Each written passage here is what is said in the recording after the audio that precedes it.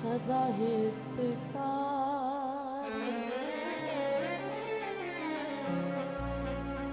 बरसाने